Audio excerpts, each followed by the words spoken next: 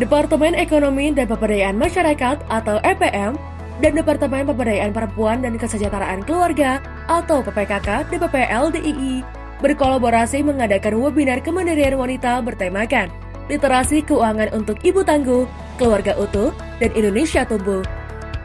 Ketua DPPL DII, Ardi Tobinadi dalam sambutan mengatakan, ibu memiliki peran penting dalam pengelolaan keuangan rumah tangga.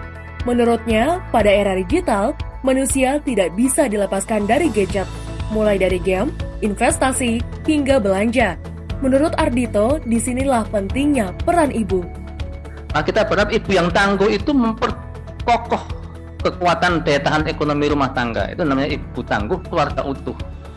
Nah kalau daya tahan keluarga keluarga itu tangguh ut, utuh ya, kuat maka ekonomi bangsa ini juga akan kuat. Nah tentunya di dalam mengelola keuangan termasuk usaha itu harus sesuai dengan prinsip syariah. Ketua DPP LDII bidang PPKK, Siti Nur Anissa yang menjadi salah satu narasumber juga menyampaikan, era digital mendorong hasrat manusia untuk belanja. Sebagai ibu, hendaknya dapat mengelola keuangan dengan karakter keluarga masing-masing.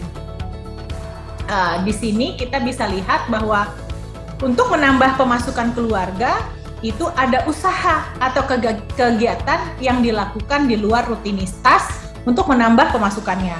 Nah, kalau pemasukannya kepengen rutin, itu harus apa? Ya berarti harus ada perencanaan, harus disiplin, harus kerja keras. Ah enggak, saya mau iseng-iseng aja gitu. Ya kalau iseng-iseng aja ya sesuai, pemasukan sesuai apa yang dikerjakan. Dalam prinsip keuangan keluarga, dimulai dengan merencanakan penggunaan uang, kemudian tidak membandingkan pencapaian diri dengan orang lain dalam urusan kekayaan.